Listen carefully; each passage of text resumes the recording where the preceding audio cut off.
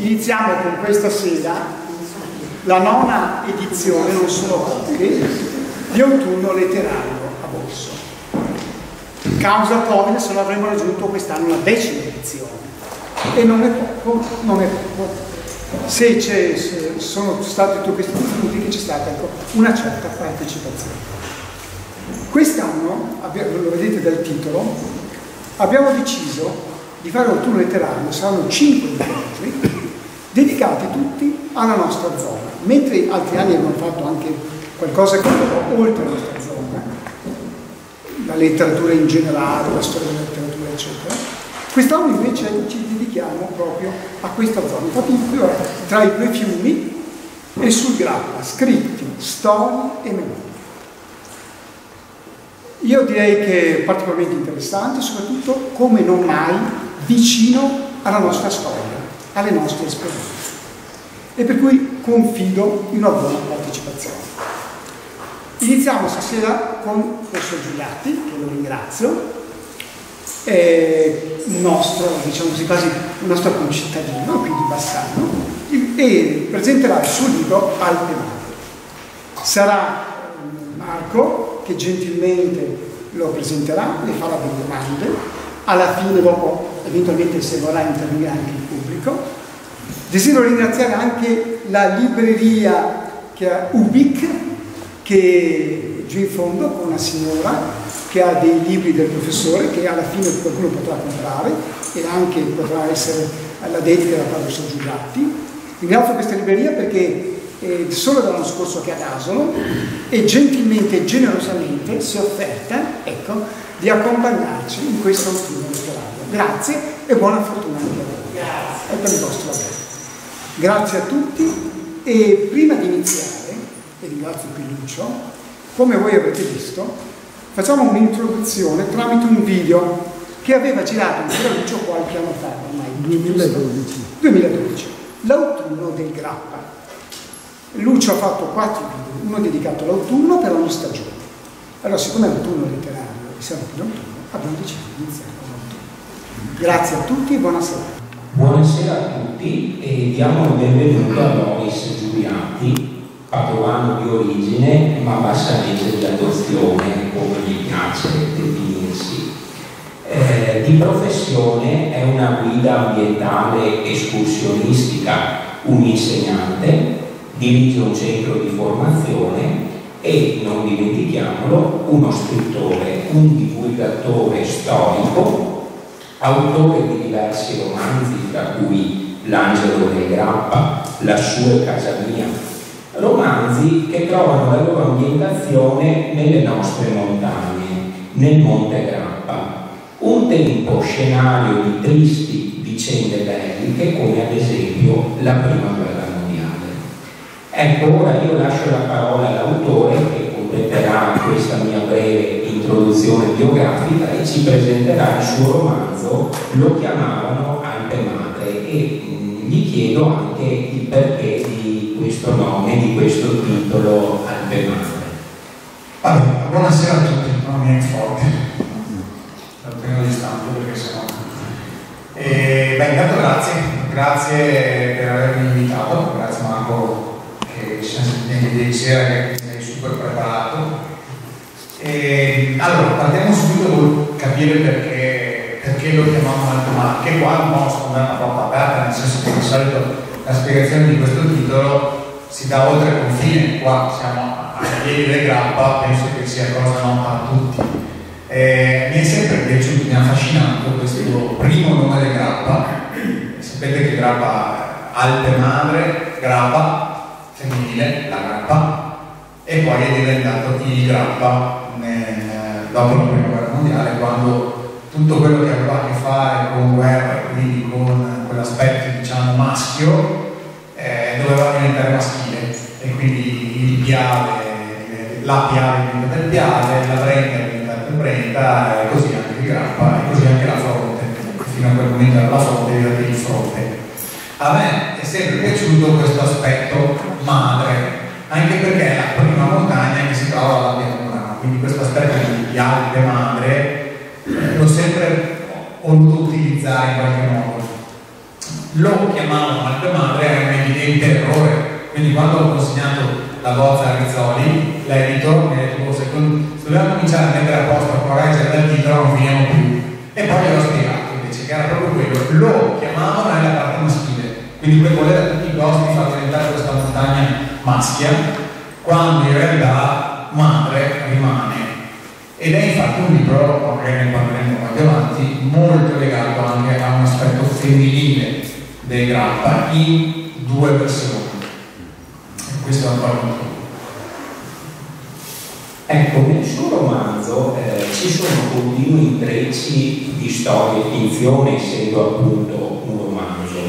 Nel corso dei vari capitoli la storia dei nostri protagonisti, di cui dopo ci darà un accenno, si intreccia con l'attentato di Sarajevo, una delle cause scatenanti la prima guerra mondiale dove a perdere le loro vite furono l'erede al trono d'Austria Francesco Ferdinando e la moglie Sofia. Ecco, io le chiedo eh, quali episodi realmente accaduti storicamente sono presenti nel libro? Allora, eh, come giustamente diceva Marco, il libro lavora su due piani temporali. Quindi c'è un piano temporale del passato, scritto al presente, dall'altro, e un piano temporale del presente scritto al passato. Questa è un po' una firma di tutti i miei libri, no?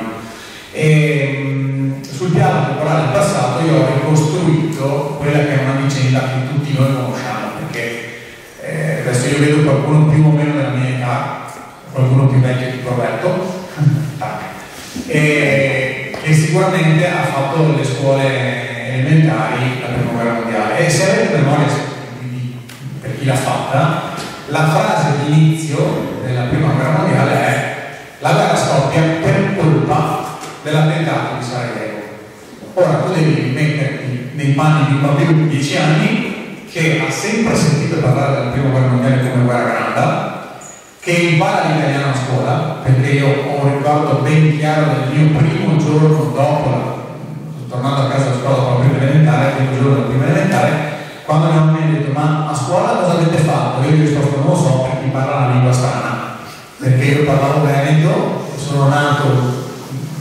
nella provincia di Padova, che adesso ormai è diventata Padova, però sono in campagna, e parlavo a dialetto, quindi immaginati quando ti trovi ad affrontare una lingua nuova e sta guardando è sempre stata una cosa che ho sentito dire, io scherzando con i ragazzi dico sempre che le prime tre parole sono state papà, mamma, guerra grande perché il nonno non lo ha fatto e quindi ricadeva puntualmente questa parola, il nonno è taciturno, colpa della guerra grande, il nonno è sempre in un angolino, colpa della guerra grande, il nonno è senza capelli, colpa della ecco, su questo l'avevo smentita, ma gli altri due è, è, è verità. E quindi quando arrivi in quinta elementare, già quando arrivo in terza elementare, la storia si cominciava in terza elementare, se, se avete ricordo, no? col sussidiario, e dai, questi assidui babilonesi, egiziani, e avanti così, che arrivi romani, poi a un certo punto tu arrivi in quinta, quindi fai l'unità d'Italia che nessuno si ricorda mai, subito dopo l'unità d'Italia tocca a, tocca a me, no? E, e la maestra dice, oh, adesso cominciamo a parlare della prima guerra mondiale. Eh no, fermi Adesso, prima della prima guerra mondiale, mi spieghi che cos'è la guerra grande. Perché non avevo ancora associato queste due cose, no? Mi spiega con difficoltà che è la stessa cosa, vabbè, allora parti e inizia proprio così. Allora, tutto inizia per colpa dell'attentato di Sarajevo. Se voi vi mettete nei panni di un bambino di 10 anni, che è sempre cresciuto con, per fortuna, col fatto che la guerra è stata una brutta cosa che ha rovinato il nonno, per associazione di idee, colpa di Francesco Ferdinando. Quindi tutte le disgrazie di mio nonno, colpa di Francesco Ferdinando. Ci vuole un po' e, e qualche anno di studi in più per riuscire a provare a vedere questa versione a volo d'uccello, io dico sempre, no? A volo d'uccello vuol dire che devi riuscire ad avere la capacità, che non è facile, di provare a capire la storia senza essere di parte. È inevitabile che siamo tutti di parte, siamo cresciuti con dei libri che sono stati scritti di parte e poi c'è un continuo copia e incolla che si porta avanti per anni di parte. Adesso è un po' meno accentuato rispetto a alcuni periodi storici, però comunque di parte, no? E quindi comincio a studiare bene quello che riguarda eh, non solo quella, quella del lato, ma tutto il mondo dell'Esburgo, che è un mondo estremamente affascinante perché eh, al di là di Francesco Ferdinando, il Checco Beppe che tutti noi conosciamo, Francesco Giuseppe, è sempre stato, tant'è che nel primo Novecento veniva anche descritto così a scuola, come il nemico numero uno degli italiani, cioè era il cattivo. Okay? C'è una, una, una frase eh, molto bella, un grande filosofo, che dice o muore da eroe o muore vecchio da, da cattivo. Il grande filosofo Batman, è una frase di Batman, non so se l'avete mai sentita cioè o muore giovane da eroe o vecchio da cattivo. E lui muore vecchio da cattivo. Tutti noi ce lo ricordiamo come quello cattivo. Se vai a vedere invece la storia vera sua, e per farlo non puoi fare altro che dimenticare la bibliografia italiana e prendere la bibliografia austro-ungarica, austriaca, tedesca, per fortuna ce ne sono tutti tradotti molto bene, e ti accorgi che in realtà era un grande imperatore. E che l'ultimo periodo della sua vita, che è quello che poi è arrivato alla prima guerra del 1916, che poi ha portato il mondo alla prima guerra mondiale, lui di quella cosa là c'entra relativamente, nel senso che ormai è stato soggiogato completamente dai suoi generali e lui ha in mente firmare di continuo carte. Io quando lo descrivo nel libro ho proprio davanti questa immagine, no? Pensate che lui muore e chiede al suo al suo, chiamiamolo così, servo personale, anche se è un brutto termine, quindi il suo cameriere personale, è proprio corretto, che descrive appunto nel libro, gli chiede, morente, con la febbre alta, dammi la mano ad alzarmi che devo arrivare alla scrivania, che era a due passi dal letto, perché devo firmare, devo fare ancora delle carte, no? E sono stato anche in Austria per vederla questa stanza, questa scrivania, per avere anche questa idea, perché devo vederle le cose per raccontarle, no? Quindi, e, e, e tutte le immagini là, tutto imbrattato di sudore, morente, che continua a firmare. E, e mi ha affascinato questo, questo anziano, eh, tant'è che non mi sono in bocca anche delle frasi che non sono sue, ma mi sono permesso delle licenze letterarie dicendo proprio ma perché io non posso fare il nonno come tutti gli altri, no? Perché io devo continuare a fare questo tipo di vita? Vi ho dato questa immagine un po' diversa da quella che siamo abituati. E lo stesso per l'arcivescovo Francesco Ferdinando, che per essere molto spicce, perché io sarei un po' logoronico, eh, lo dico, eh, per dare questo, questo spunto veloce, eh, lui vuole sposare Sofia, la vuole sposare a tutti i costi. E per far questo si inventa mille stratagemmi, uno più famoso di tutti è che per stare vicino a Sofia, che era la dama di compagnia di una provata duchessa, si inventa il giocatore di tennis e va con questa duchessa a giocare a tennis. Lui era chiavica a giocare a tennis, non era forte a giocare a tennis, però andava per, per stare vicino a questa, a questa dama di compagnia. Giorni che va a giocare a tennis toglie il medaglione che portava al collo. Sapete quei medaglioni che schiacci il bottoncino, si apre, c'è la foto dentro? Non fate sempre la testa così. Capisco che mi state ascoltando, pensate alla lavatrice che avete a casa. E, e se non dimentica lo spogliatoio.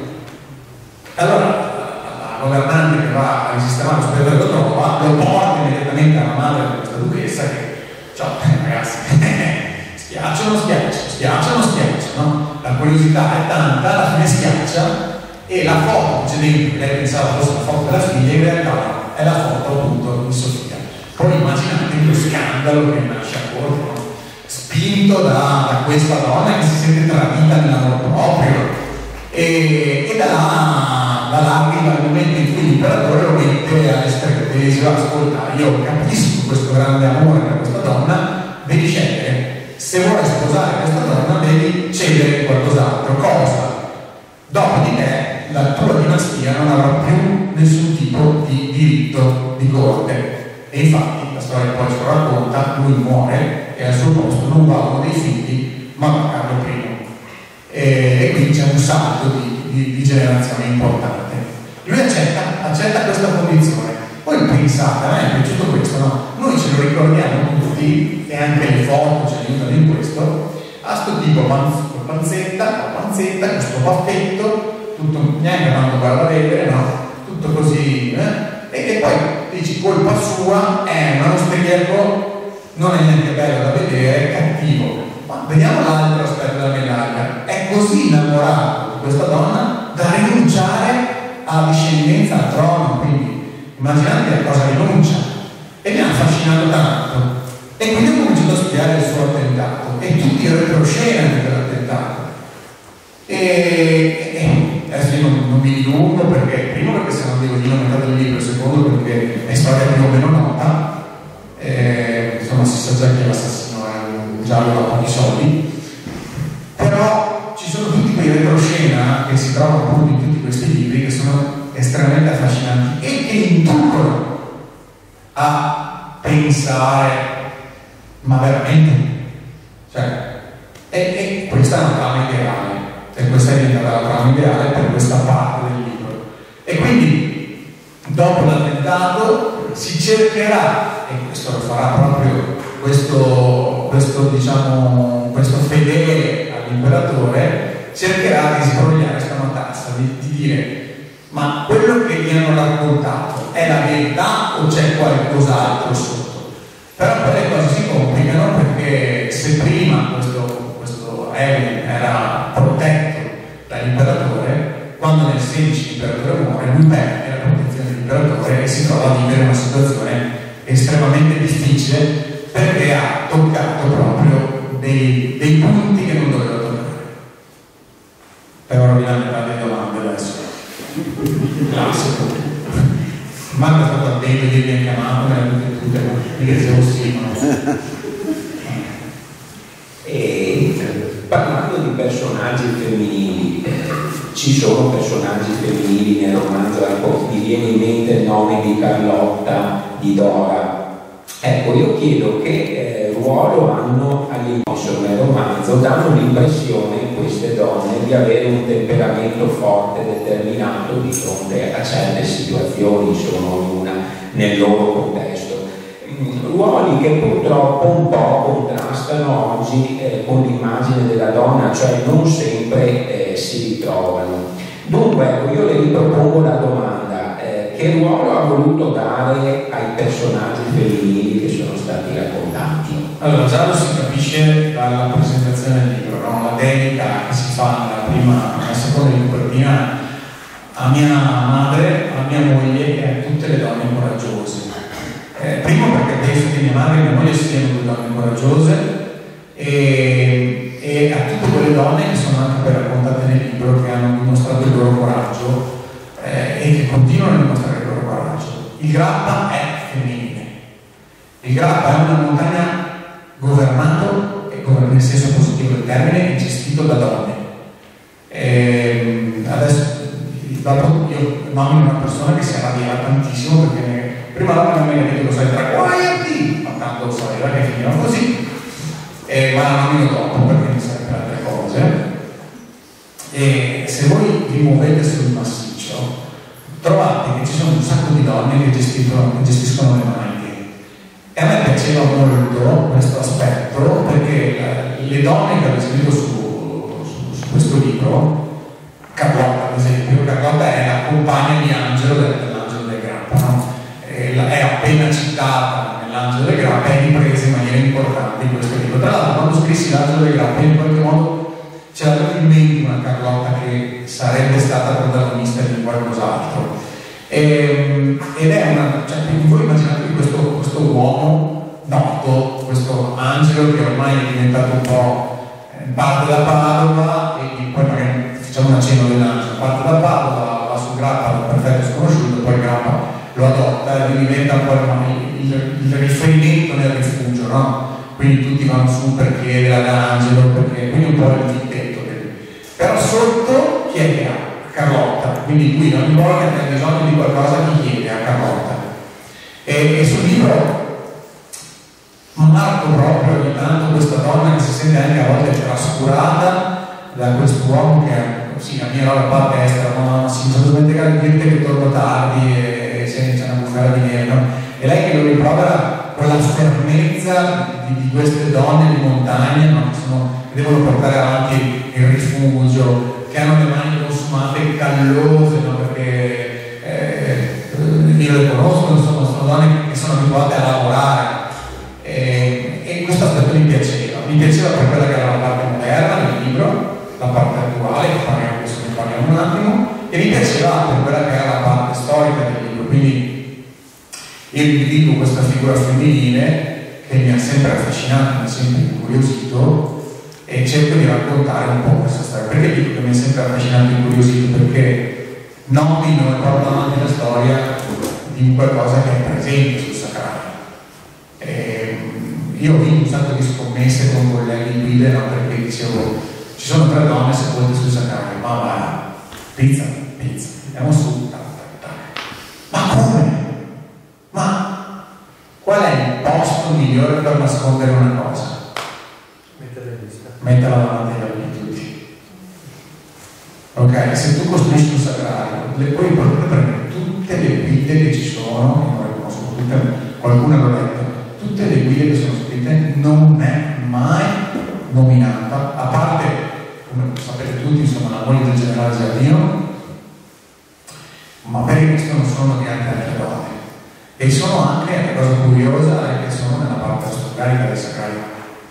Eh, volta io dissi, pensa proprio, io dissi una, una stupidaggine clamorosa in una visita guidata a degli austriaci. Portare in giro gli austriaci è, è difficilissimo portare in giro, portare in giro gli austriaci perché devi avere un rispetto storico importante, no? quindi alcuni termini devi evitarli come la peste.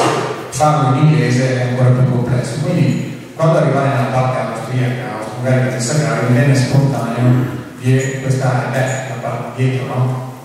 Ancora E mi fece una riflessione che tuttora io racconto alle persone citate. Guardate, ragioniamo un secondo. Rispetto a che? Eh, rispetto a che? Bella domanda. Allora, guarda bene, il sagrario italiano guarda verso sud. Quindi noi consideriamo che siamo nel nord d'Italia, guarda verso l'Italia. Da che parte è l'Austria? Eh, le ha. E quindi vedi che tutta noi, più o meno, non un grado più grado meno. E quindi se voi ve immaginate così, immaginate due mondi uguali nello stesso, nello stesso contesto. E, e, quindi questo sacrario ha sempre avuto questo valore un po' del back, del dietro per noi, e, e anche là è curioso andare a vedere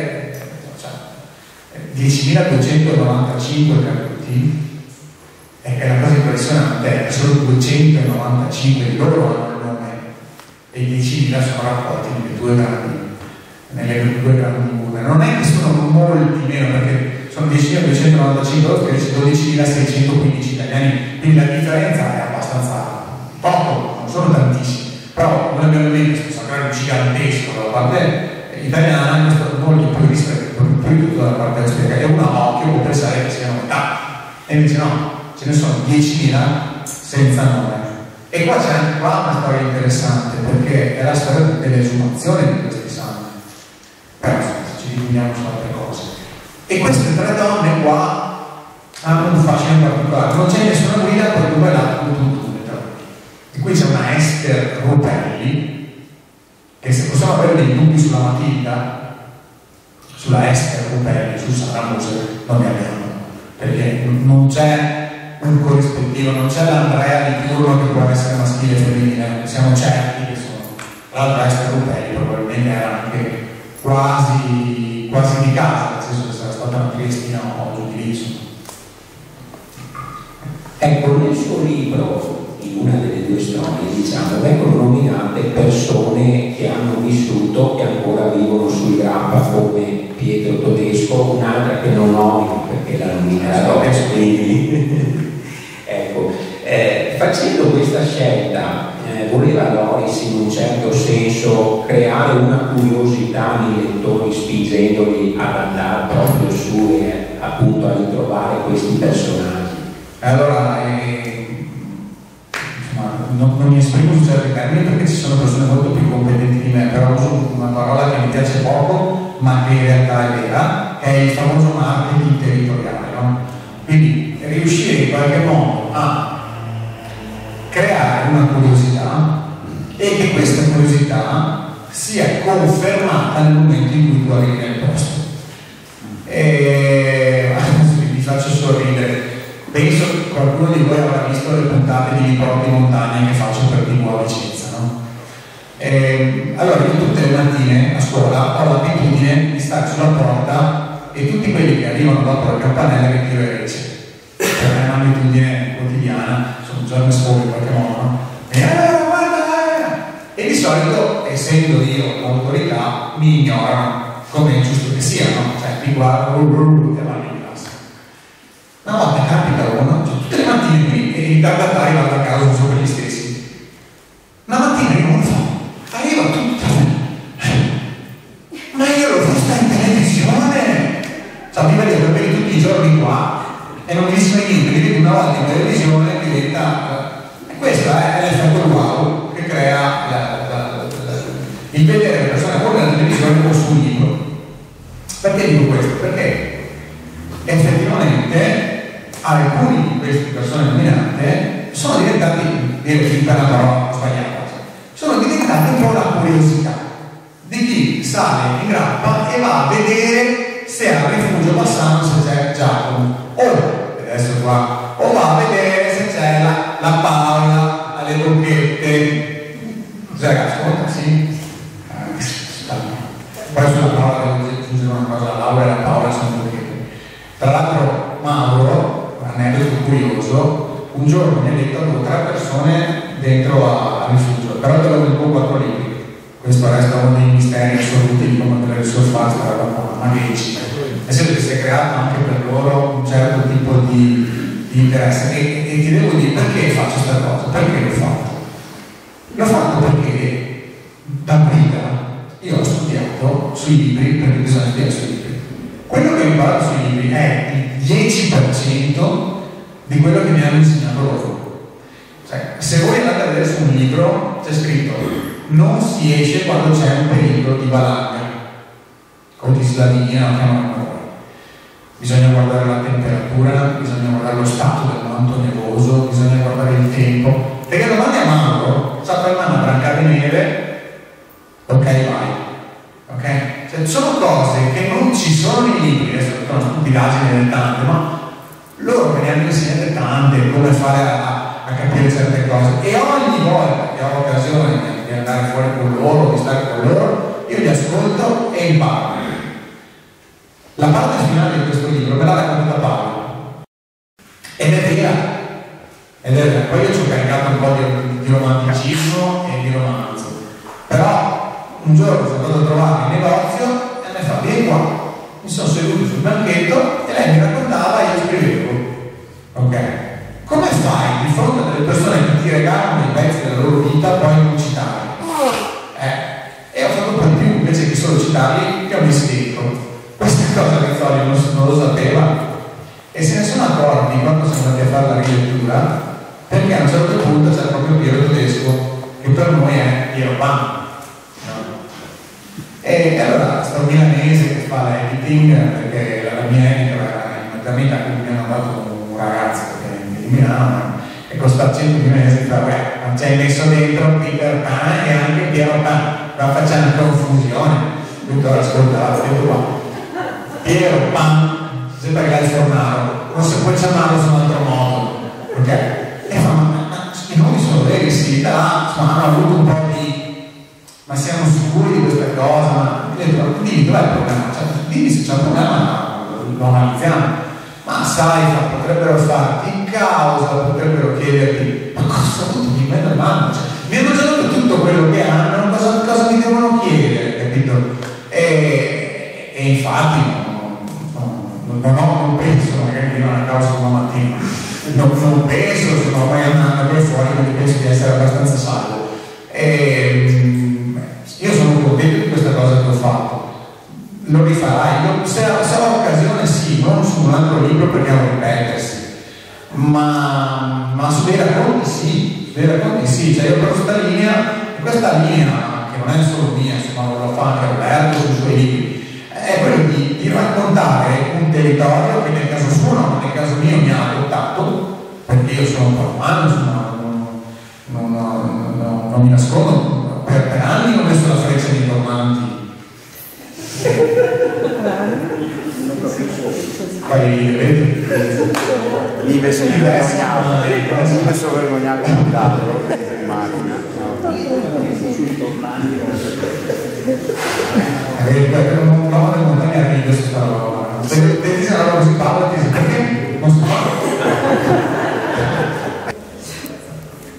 Ecco, parlando un po' dell'angelo del Grappa, insomma, che prima abbiamo dato qualche urbano, trascinato in montagna dai suoi genitori, un ragazzo con la passione per i videogiochi, un po' svogliato, con poco interesse per la storia, ma in generale anche per la scuola.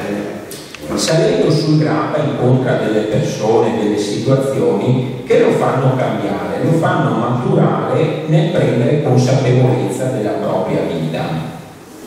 Angelo Nati lo ritroviamo poi nel romanzo, lo chiamavano il madre, e, e, diciamo rappresenta un po' eh, l'angelo cresciuto, diciamo il seguito no, de, dell'angelo del Grappa. Eh, questo angelo ora vive in una baita, vive ai piedi del Monte Asolone con la moglie Carlotta, si è diplomato, ha rilevato l'attività di Gabriele, il vecchio gestore della baita. Ecco, allora appunto prima ha fatto qualche accenno alla sua attività di insegnante, alla sua professione di insegnante, essendo anche lei insegnante, sicuramente avrà visto più di qualche angelo fra le mura scolastiche, prima insomma ne dava eh, un po' qualche accenno. Ecco, io chiedo, eh, ritiene che negli anni l'interesse dei ragazzi verso la storia sia cambiato, specie la nostra storia locale? Qual è il suo settore, così insomma, vivendo anche la quotidianità con i ragazzi, voglio dire? Va bene, allora partiamo da qua e poi facciamo anche una cena sul perché è nato Angelo. Sono andato proprio in Molise la settimana scorsa per fare una conferenza sul narrare la storia e per andare a fare questa conferenza ho fatto una cosa che non avevo mai fatto, che è quello di raccogliere un po' di dati. Perché ho scoperto una cosa che non, non un dato lo avevo in mano, non sapevo che era un dato corretto, quell'altro dato mi ha stupito. Allora il dato è quanto è, cioè, nella classifica delle materie scolastiche in che posizione è la storia, se la gioca con la matematica a fondo classifica. È il 7% delle, cioè, rispetto alle materie scolastiche l'interesse per la storia è del 7%. Però alla domanda, questa è la cosa che io non sapevo, alla domanda quali sono le materie più difficili, la storia è tra le materie meno difficili. Allora l'osservazione, cioè, analizzando il dato, il pensiero che faccio io è, in realtà i ragazzi non amano la storia, ma dal punto di vista nostro abbiamo tagliato corto raccontandogli quattro cosette, facendo in modo che quelle quattro cosette siano i compiti in classe e questo la rende una materia poco difficile. Cioè, non ti interessa? Ok, dimmi questo e questo, hai il tuo 6 e a posto.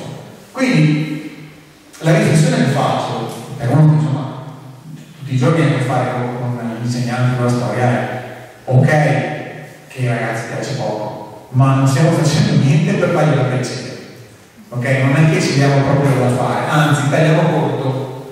E quindi l'analisi che ho fatto la settimana scorsa era proprio su questo dato e davanti a questa idea di guide, quindi era narrare la storia dal punto di vista non scolastico, dal punto di vista di, di chi porta le persone in montagna, era che poi è la stessa riflessione che faccio quando parlo agli insegnanti che, che mi invitano a parlare insegnanti, dico sempre ragazzi, noi siamo come una strada Qualcuno sta solo via qualche insegnante, per esempio, mi paragoni a un venditore di finestre. Quelli che sono rimasti ancora da seduti, che hanno letto questa volta, se ne vanno via quando aggiungo. La differenza è che Mastrotta deve sudarselo il pane, invece non ce l'abbiamo comodo. Perché dico questo? Perché Mastrotta, per vendere, dico Mastrotta per il venditore, per vendere le finestre in televisione, deve convincere chi è dall'altra parte della bontà del suo prodotto noi quando entriamo in classe abbiamo una platea che ha già comprato le finestre e siamo costretti a stare là. Ok? Quindi perdiamo lo sforzo nel cercare di convincere che il nostro prodotto è un prodotto bello da vendere. Chi riesce a fare questo step, cioè chi riesce a dire mi sforzo di fare amare la mia materia, vale per la storia, ma vale anche per altre materie, si trova poi ad avere degli studenti che portano la materia in testa alla classifica. E dicono, io amo la storia perché ho trovato, lo sentite dire, ma l'avete sentito dire spesso, quel professore mi ha fatto amare la filosofia che è una materia odiosa, o la storia è una materia odiosa, no? Perché? Perché ha amore nel raccontarlo. E, l'idea dell'angelo di grappa nasce un po' da questo, ho ma proviamo ad analizzare questi ragazzi, perché mi stanno fornendo, come succede nelle analisi di mercato,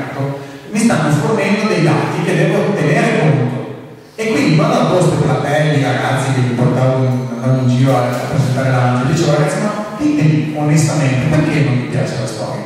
Io ho fatto questo esperimento in più di 100 classi, 100 scuole, quasi quasi proviamo anche stasera. E, e tra l'altro, adesso io stasera non ce l'ho, però io scrivo le tre risposte in una busta, le consegno al loro rivale di turno che lo riconosci, cioè, come venite su una scuola Banff, lo becchi subito, gli dai la busta e dici ah, scommettiamo che io indovinato tutte e tre e le becco sempre. Allora, penso che se siete qua non fate parte della categoria di quelli che non amano la storia, ma facciamo finta che non vi piace la storia. Per alzata di mano il primo che ha, ditemi secondo voi qual è il motivo per cui non vi può piacere o ai ragazzi non piace la storia. È un po' più difficile con una platea del i ragazzi è sempre uguale. Dai, forza, coraggio.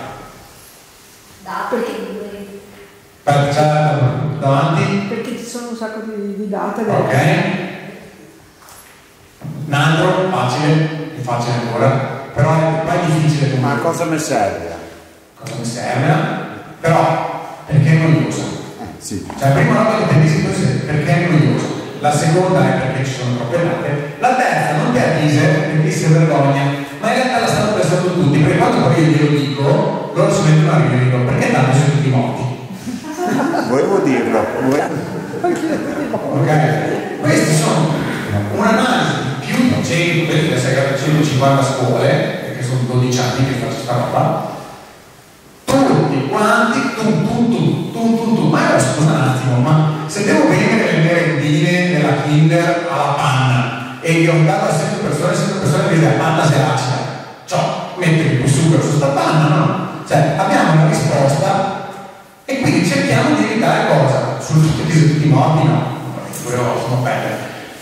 Lavoriamo altri due, lavoriamo sulle date, quindi l'asse temporale, ci servono le date? Sì. Parliamo di prima guerra mondiale, mi serve mettere tutte le 11 battaglie di Isonzo una dietro l'altra? No. Se me le chiedi a bruciapelo, non so, non me le ricordo, ok? Non me le ricordo. Cosa mi serve sapere? Mi serve sapere Caporetto, mi serve sapere collocato temporalmente perché Angelo nel libro la mondiale sì mi sembra 13, 14, 15, 18 no. Inizio, fine, caporetto questo è sufficiente per avere un quadro della situazione no? perché qualcuno ha messo prima guerra mondiale nel 45 c'è successo tutto. Quindi quando l'hai collocato un attimo. Poi anche sul caporetto e qua maestro Roberto Frisoni insegna 24 ottobre lo imprimete nella testa dei ragazzi, giocando anche, no? Ricordatelo perché poi lo ritiro fuori questo 24 ottobre e allora rimane quello quando tiri fuori la fine della guerra. Guardate la casualità, 24 ottobre del 17 Caporetto, inizia Caporetto, 24 ottobre del 18 dovrebbe iniziare la battaglia finale. Perché? Di motivi per data. Perché cancellare la più grande onda con la più grande vittoria poteva essere una cosa quindi anche date bisogna un po' modificarle, bisogna raccontare un po' le cose così. E poi devi lavorare sulla noia. L'angelo nasce perché ho detto, ma cioè io li vedo questi ragazzini qua. Questi ragazzini qua sono curiosi da morire, tutti noi siamo curiosi, però loro hanno la curiosità positiva. Perché i bimbi piccoli, perché, perché, perché, perché, perché, perché, ok? Dopo, quando diventiamo grandi, non è che la curiosità non ci sia, ma diventa curiosità dorsiana. Ti defensiva a testa, ma non sai cosa è curiosità dorsiana? È curiosità dell'alba d'orso. Cioè, ci interessa sapere, Marco, quanti morosi di Gabbellè negli ultimi sei mesi, tra l'altro un numero molto difficile da ricordare, no? E quindi diventa, eh, diventa gossip e perdiamo questo senso, no? E invece finché sei ragazzino e sulla curiosità tu lavori, l'angelo nasce così, nasce stampando 10 copie di quel libro. Io ho scritto un libro per stampare 10 copie e ho regalato. L'idea di stamparne ancora nasce perché un giorno finché andavo, stavo andando a camminare sul colline di Romano, mi si avvicina un uno cappuccio in testa e ho pensato, mamma mia, che se che l'ultima volta che ho sospeso qualcuno quando si sta notte, questo suo genitore batte, quindi fai tutti questi esempi che sono 24 e mi si avvicina e fa, è vero che scritto un libro? Sì, però non parte della felicità. E, mm, si trova in libreria. No, non avevo pensato in libreria. Essere un'idea, quindi colto da questo entusiasmo torno al mio tipografo e dico, boh, vado in libreria, stampa per la libreria. E lui mi dice, guarda che per avere un prezzo da libreria non puoi stamparne 10 perché stanno tutti vendono a 50 euro. Quanti? 100. Stampane 100. Entusiasmo, no? E poi vado a prendere, sono due scatoloncini e torno a casa con questi due scatoloncini, scena da Far West, no? Apro la porta e non mi vede questi due scatoloncini. Allora lei riflette su cosa dirmi, cercando di avere il tatto giusto. Io la guardo, alla fine mi dice, noi non abbiamo 100 parenti. ok? Vabbè, la poi è andata in maniera diversa, quello è stato un libro fortunato perché siamo arrivati a, oh, non so, 13, 14, 15 mila copie, insomma. Solo Palazzo Roberti ne ha venduti prima della lezione di storia, ne ha venduti qualcosa come 8.000 copie, quindi insomma è un libro fortunatissimo, fortunatissimo poi viene dato Rizzoli, ha venduto il resto di Rizzoli, poi a un certo punto colta loro da questo entusiasmo, e beh, facciamo il secondo. E io ho detto, non se ne parla nemmeno, infatti, chiamavo anche madre, è il seguito, coerente. Ok, ecco, eh, continuando un po' eh, sul discorso guerra, ehm, allora sempre nel romanzo lo chiamavano anche madre, in una lettera inviata dal fronte da parte di Pietro a Sara, sua promessa sposa, eh, descrivendo gli orrori bellici scrive di un gruppo di ragazzini con in mano un'arma, pronti a combattere per qualcosa che non. Stiamo combattendo contro dei bambini che giocano a fare la guerra.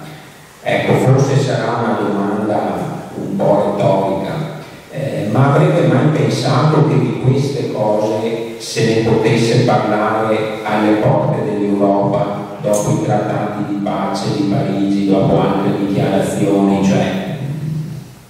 No, no. E quando è scoppiata la guerra che stiamo vedendo per televisione, TV, mamma mia, mi ha fatto un effetto stranissimo anche perché è una guerra moderna combattuta come si combatteva cento anni fa. E pensate un po', eh, anche qua il ripetersi della storia, i, i russi che hanno battuto Napoleone e, e fermato i tedeschi col generale inverno, che rimangono imbrigliati nel generale inverno e, non riescono a venirne a capo perché si impallano con carri armati nelle paludi di, di, di fango. Eh, tutto quello che sta succedendo è terribilmente un déjà vu e, e, e fa riflettere. Anche quando affronto l'argomento con le scuole, non è che ho mai affrontato l'argomento a cuore leggero perché sono sempre andato nelle scuole parlando di questa storia come una storia di famiglia, cioè la, la, prima guerra mondiale è una storia che per noi, per tantissimi di noi, è una storia che ancora un mio nonno ha fatto, no, un mio bisnonno ha fatto, c'è ancora un legame diretto per presentarla a questi ragazzi che non avevano più questo legame diretto, lo facevo con il tatto che era qualcosa di familiare che veniva raccontato. Ma adesso faccio tanta fatica. Quando mi invitano a parlare a raccontare la prima guerra mondiale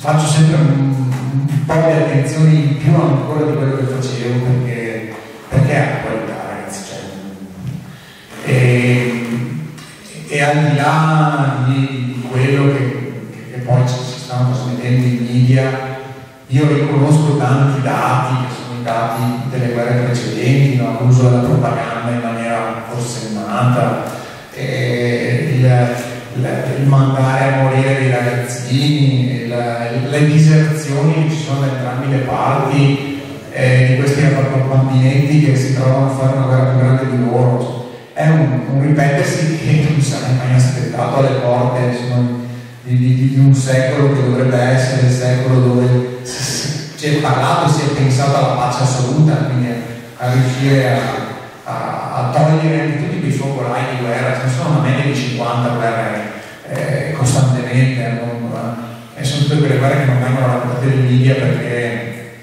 non perché non fanno morte, anzi, ma perché sono considerate eh, in zone minori. E questo se l'abbiamo alle porte dell'Europa, quindi ha un peso anche mediatico decisamente diverso. Però di fatto così drammatica non me la sarei mai aspettare. E purtroppo insomma, parlo da uno che insomma, un po' di dimestichezza con queste cose ce l'ha, non ci vedo tanto una strada di, di, di uscita comoda. Alcuni, per alcuni punti di vista io ho visto anche eh, l'Europa, degli anni, della fine degli anni 30, insomma, eh, con, tutti i drammi che, che, che poi hanno portato a, alcune scelte anche poco lungimiranti e, poco attente da parte dell'Europa tutta. Ecco allora, spostiamo un attimo il discorso, parliamo sempre eh, di grande guerra e in più di qualche occasione ha raccontato la storia dei recuperanti, l'Andarberskaie, uomini e donne che dopo la grande guerra si dedicavano al recupero di reperti bellici per la rivendita come ferro vecchio per il loro sostentamento. Ecco, ha ricordato alcuni personaggi come il Cartuccia e vuole raccontarci qualche aneddoto su qualcuno di questi personaggi? Ecco, il Cartuccia mi era rimasto un po' impresso, però... Sì, no, eh, tra l'altro eh, proprio non tantissimo tempo fa eh, il Cartuccia è stato e non tanto tempo fa un ha detto che, che c'è chi l'ha conosciuto il Cartuccia che per noi sono dei miti che grappano tra l'altro parlando di Borso e Morfrum, eh, il famoso moro della cima di Paolo, eh, è uno di questi miti per noi. E sono tutti quei personaggi che eh, per noi sono dei supereroi e che però non sono mai raccontati. Il Cartuccia era questo tizio, eh, in si dice, si, faceva prima saltarlo che girarci attorno, piccolo e grosso che aveva questo compito di salire quel BL18 e andare a Frocelletto a caricare il ferro. E, e lui aveva questa passione folle per, per la trippa. E, e pianta accesa, sapete l'interessante nota del grappa, c'è, c'è un posto, si chiama soprannominato pianta accesa, si chiama chiesa di San un pareggio, San Luigi, San Luigi, cazzo. Ah, sì. e, e là è, famoso perché da una parte c'è l'osteria, dall'altra c'è la chiesa, tant'è che dicono che quando gli anziani giocando a carte, che passa, che qualche queste mo, i preti li pregano direttamente dalla canonica. Insomma, eh, lui si fermava sempre a mangiare questa, questa trippa al suo, ma non era tanto la trippa al suo che lo affascinava, quanto chi la faceva la trippa al suo. No? E quindi che cosa faceva? Andava sulla cima grappa, caricava il suo camion e poi scendendo si fermava a pianta accesa a mangiare questa trippa al sugo e finché lui mangiava questa trippa al sugo e, e la, la, la, la, signora Laura cosa si chiama l'Agnese grazie la, mentre l'Agnese ti raccontava poi ti racconto come si fa la trippa al sugo cartuccia eh, sì Agnese eh, allora devi prendere la trippa, devi levare. Sì, che lei allenava sta roba infinita, i ragazzi del paese saltavano sul furgone e glielo svuotavano. È andata un po' sta storia, no? Quindi il Cartuccio ogni volta faceva sta roba. A un giorno, ma tra l'altro una mano dal cielo, perché tutti questi ragazzotti con questi soldi recuperati sono riusciti a comprarsi la mercedaria, qui la bicicletta, quindi è diventato praticamente uno che ha mantenuto i ragazzotti del paese. A un certo punto il Cartuccio scompare, non, non lo vedi più, i recuperanti proprio gli riporta perché arriva un altro, questo cosa fa? Anche lui piace la trippa, un po' meno a Nisi, gli piace la trippa, lui arriva che è accesa, ma la trippa va sul carica. quindi poi torna giù dritto. Ok, quindi i ragazzotti sono rimasti.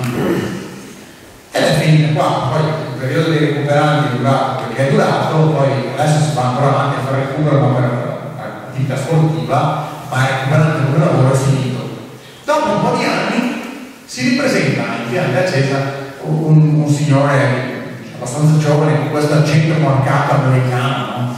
entra in pianta accesa e dice ma è già il signor Agnese lì, mio, no, la moda Agnese, no, partita un po', però sapete, cioè, lo straniero è che arriva là, mentre qua manca il quarto carta, se lo tira dentro e, e tutto il giorno, ma io volevo quasi con su bene mangia a insomma, va avanti fino a sera, uno dice ma sono mattina, chi sito?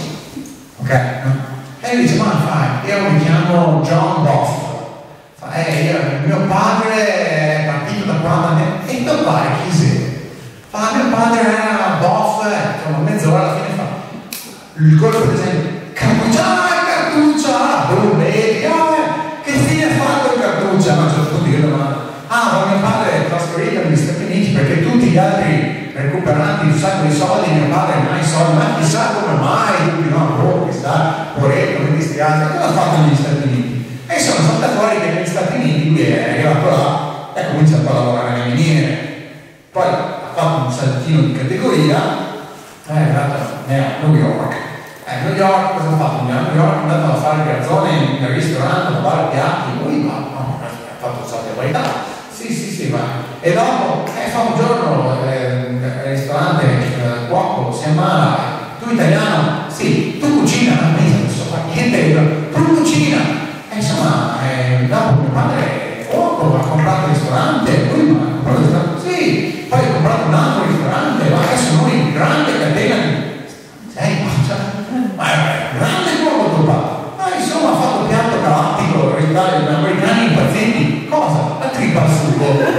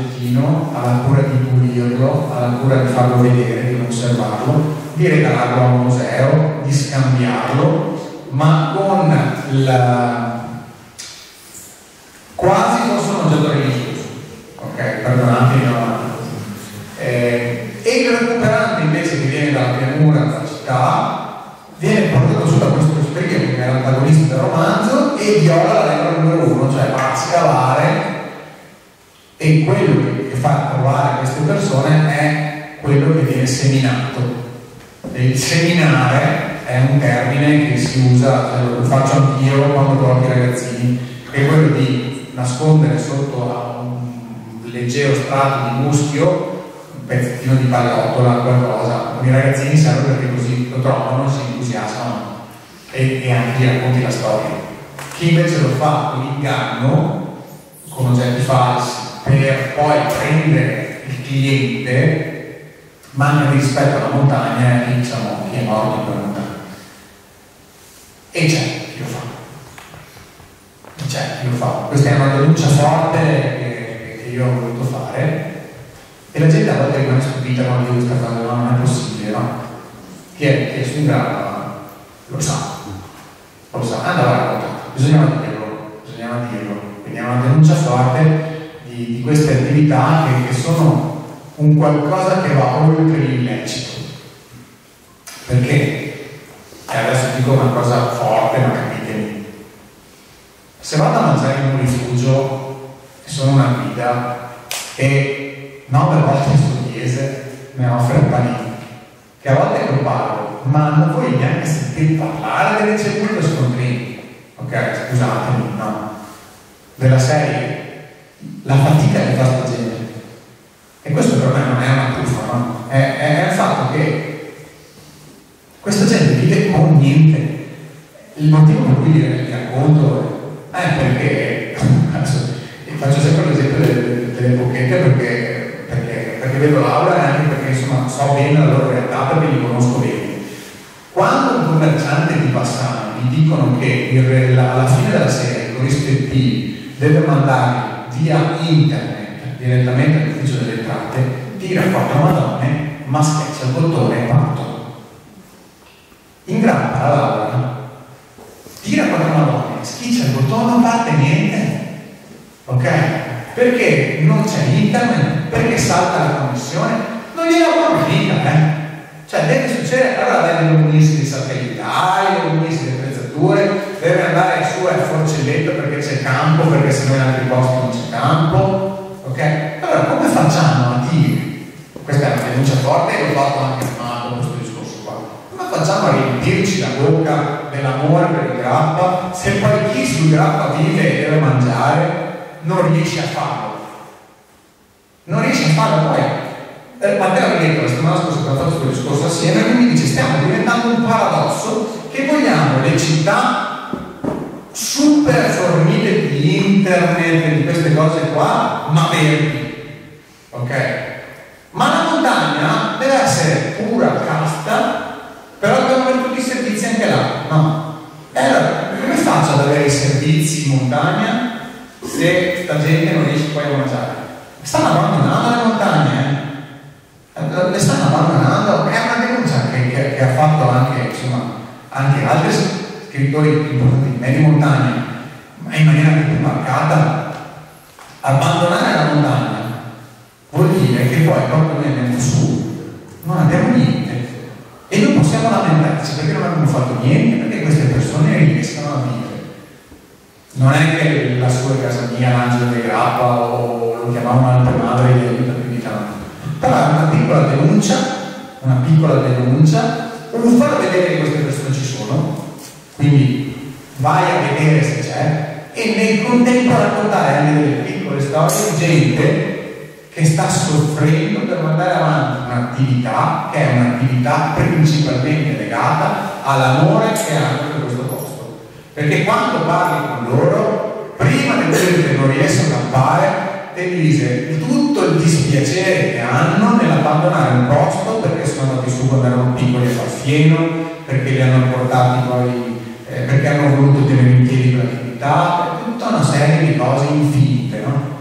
E questo è quello che loro mi hanno insegnato e che cerco di raccontare tramite l'altre madre come rifugio, tramite le bocchette, tramite Giacomo, tramite tutte queste figure che ho inserito dentro, che sono tante, ma tante, è stato anche uno sforzo perché voi sapete che una delle, regole nella narrativa è quella di mettere pochi protagonisti perché dopo tutte perdi.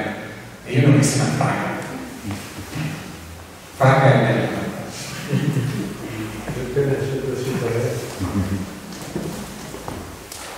Ecco allora, eh, termino con domanda eh, facendo riferimento un po' alla sua esperienza di guida escursionistica.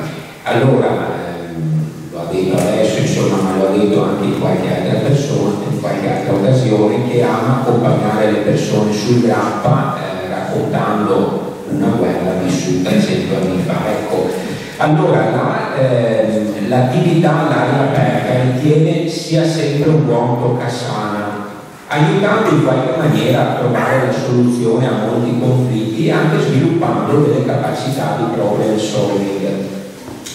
Tuttavia eh, le camminate in montagna non devono essere fatte in modo sprovveduto, ma con scienza e coscienza, come si suol dire. Le è capitato di incontrare qualche camminatore sprovveduto e eh, le ha dato qualche consiglio? E le chiedo anche un'altra cosa, ehm, sempre parlando dei giovani, eh, amano queste occasioni un po' distanti da rumori e bagliori dei luoghi aggregativi? Sì, sì, sì, sì, questa è una cosa che vi, se vi capita di portare, è una delle grandi soddisfazioni che abbiamo nel nostro lavoro di, di portare questi ragazzotti in montagna che al secondo tornante dice guarda mettete il telefono che quando poi non prende e, e, subito soffrono per questa cosa, però poi quando sono su si dimenticano, sì, si abituano, si abituano a una velocità paurosa. Tornando al discorso iniziale, due giorni, due camminate al mese nei boschi, è uno studio scientifico, è uno stato circondato mio, aumenta del 16% la capacità del nostro organismo di autodifesa. Due passeggiate nei boschi, quindi non mi avevo qua. Eh. Quindi immaginatevi la fortuna che abbiamo su questa cosa. Eh, cose strane. Beh, eh, ce ne sono 3 o 4, mi in mente una volta, eh, adesso ho imparato eh, l'abbigliamento che ho montagna, quasi tutto al patch, con scritto guida. Adesso ho cominciato ad avere delle cose che non hanno il patch scritto guida perché quando tu vai in giro e hai il patch, qualsiasi posto sei, qualcuno ha bisogno di ti fuori dai casini, no? E, e, quindi adesso vi faccio l'esclusivista normale. Eh. E, e, ricordo una volta che siamo andati via, siamo andati a camminare io, io ed e abbiamo trovato eh, facendo dal, da Lauronzo, dal, dalle locatelle a Lauronzo, dove ci sono 3 cimetri di Lavaredo, eh, stavamo facendo il giro da locatelle a Lauronzo, poi abbiamo fatto il giro per la Cenda e salendo, nel mentre arrivava avanti una signora con il fratto. E, e rimani un po' basito perché pensi, eh, vabbè, in, in, questo verso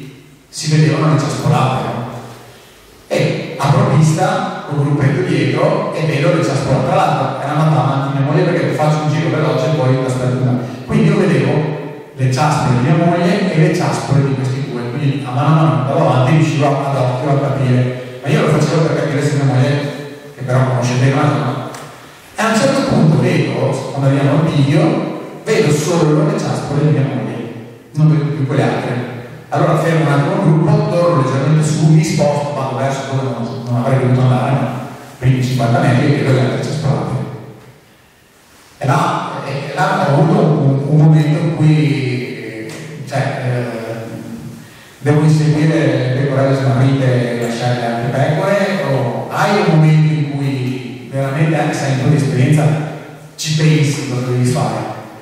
Alla fine la cosa più saggia era di mettere in sicurezza le persone che erano con me, quindi ho fatto il giro. E, e quando siamo, poi dovevo rifare due giri quel giorno là, quindi sono arrivato al rifugio, ho lasciato il primo gruppo, ho preso il secondo gruppo, quando sono arrivato su alla, alla prima tappa che dove c'è, se conoscete la zona del bosco di c'era grande serie di legno che l'ho vista nelle foto, di solito là si fa un po' di parlamento storico, veniva questi tipi qua è riprograto. Ma eh, dovevi dirmelo che... Non dovevo dirlo. Però effettivamente la collassa è rimasta più basita, no? Nel senso di che cosa devo fare? Dovevo lasciare il mio gruppo per andare... Secondo me che sono arrivato dalla montagna non posso lasciare delle persone in pericolo per correre dietro a due che si sono avventurati, però hai sempre un po' il patema di coscienza, non dire mamma se se stacca e, li tirano sotto, poi quella volta te l'avevo detto no, no, sono andato a rifugio e ho detto ah, sono due sono in giro, se, è passata una certa ora, ma di solito noi lo facciamo sempre. Quando anche la settimana scorsa che ero, sulla cima grappa che pioveva, c'era una delle giornate brutte, era un gruppo partito, mi ho detto guarda che giro fate, volevano andare a Milano, Nebbiona, sono andato in rifugio, ho detto guarda c'è il furgone targato X così, sono andati a fare questo giro, se dopo 8 ore non vedi che, che tornano, chiama l'elicottero. Però sono queste cose che ti restano un po', anche se, se hai delle regole, che la regola è metti in sicurezza i tuoi, cioè quel giro là io lo ricorderò per un bel po' perché ogni tanto, no, nonostante questi, eh, questa è una cosa dove che mi sono capitato. E vabbè, dopo il classico del tedesco che trovi su pa, pa, pa, pa, pa, pa, pa, pa, pa, pa,